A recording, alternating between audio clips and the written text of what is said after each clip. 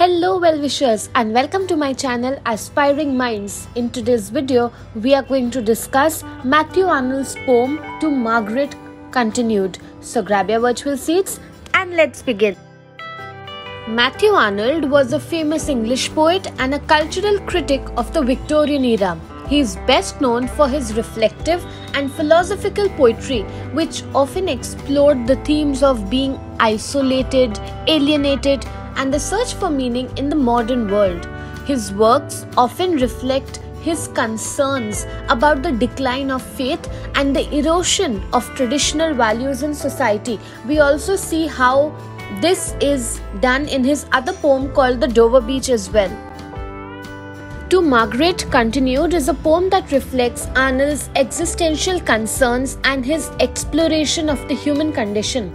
It is a continuation of his earlier poem to Marguerite, where he reflects on the isolation and separation that is often experienced by human beings.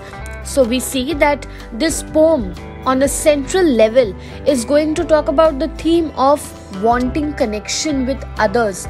Arnold explores how human beings constantly feel lonely and they need someone to you know be able to connect to someone which is always not possible because of the forces of nature luck fortune fate etc let us now look at the line by line meaning of each stanza of the poem. Yes in the sea of life enisled with echoing straits between us thrown dotting the shoreless watery wild we mortal millions live alone. The islands feel the enclasping flow, and then their endless bounds they know.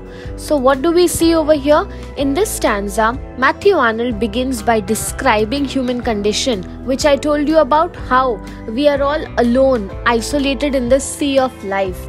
He compares human existence to islands separated by vast expanses of water. If you observe any place where there are a lot of islands, you will see that each island is quite you know located quite at a distance from the other so similarly each individual is like an island surrounded by the echoing straits of loneliness and separation occasionally yes there are straits which help us to connect from one place to another but Otherwise, we are all separate individuals. Despite living among countless others, like you know, he mentions the term mortal millions, we live among people, millions of people, yet individuals feel lonely. The islands which represent human beings only become aware of their boundaries when they feel the water which encircles around it. Stanza 2 But when the moon their hollows lights, and they are swept by balms of spring, and in their gleams on starry nights, the nightingales divinely sing, and lovely notes from shore to shore across the sounds and channels pour. So, here in stanza 2, Arnold continues by describing the moments of beauty and solace or peace which we experience for a brief moment whenever we are feeling isolated. He speaks of how the moonlight bathes the islands in the light, and the arrival of spring brings soothing, pleasant breeze. In the quiet of the night, the song of the nightingales fills the area, creating a sense of divine beauty and connection. It, you know, helps to establish that oneness through nature. The music of the nightingales over here symbolizes the fleeting moment of that temporary relief that human beings experience when they are amidst nature. Oh, then a longing like despair is to their farthest caverns sent, for surely once they feel we were parts of a single continent. Now round us spreads the watery plain. Oh, might our marges meet again. So, here we see in stanza 3, Matthew Arnold expresses a deep longing for connection and unity among individuals. He describes how during moments of beauty, peace, and harmony, the islands yearn or crave for a time when they were a part of a single landmass.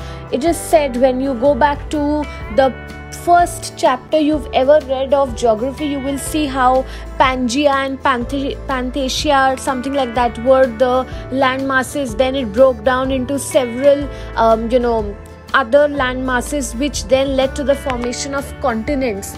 Try to remember that, you know, time when you read that in your geography chapter. So that is being talked about over here the separation caused by the watery plain that now divides the human beings or the islands evokes a sense of sadness, despair, and longing.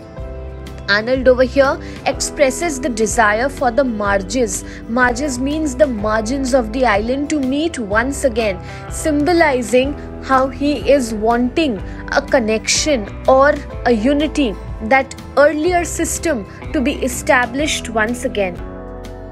I don't know how many of y'all remember your geography textbooks. This is what is I was talking about. That is how the world had a large landmass which included Pangaea, Laurasia, Eurasia, Gondwana, and there were only two water bodies which is the panthalassa ocean and the tethys sea. And then gradually all these broke down into smaller continents that we have today. That is a theory of geography. So that is what you know matthew arnold is also saying that let's go back to a time when everything was just one big landmass where everyone stayed together with utmost unity. There was no division whatsoever whether physically or whether on a mental level in terms of the mindset of the people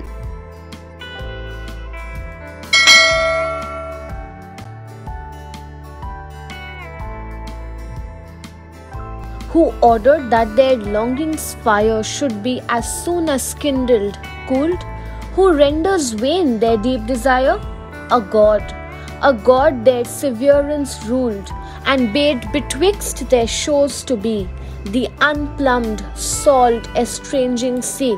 So we see that in the final stanza, the poet reflects on how separation is something that cannot be ignored, and the forces that can you know govern human existence we cannot do anything beyond that because the reality is that we are all separated from one another. Arnold questions the purpose behind this longing this sense of you know missing connection when ultimately we cannot get it. He suggests that there is a higher power symbolized by god who controls the separation between individuals and the vast expanse of the sea. Despite longing for unity, the sea is, yes, a barrier and it cannot be crossed. However, even if there is a physical barrier, human beings should still strive to try and live together for you know an overall betterment for an overall connectedness which the poet wants so, in the poem, to discuss quickly the major themes, we see that the poem explores the theme of isolation, how human beings are all disconnected from one another. Therefore, he is longing for connection. He wants human beings to surpass the barriers whatever these barriers may be and these barriers i'll tell you are increasing in today's times. We see that these human beings they don't want to live together. There is a constant selfish urge to fulfill your own motives. And in doing that there is a lot of gap that is being witnessed in relationships so therefore we see how the poem is relevant even in today's time and we see how there will be moments of beauty where you will feel a connection with nature which will temporarily help you to overcome that feeling of loneliness. So we see that one is nature and the other is the idea of God, which is there that can help you to have the human beings connected to one another once again.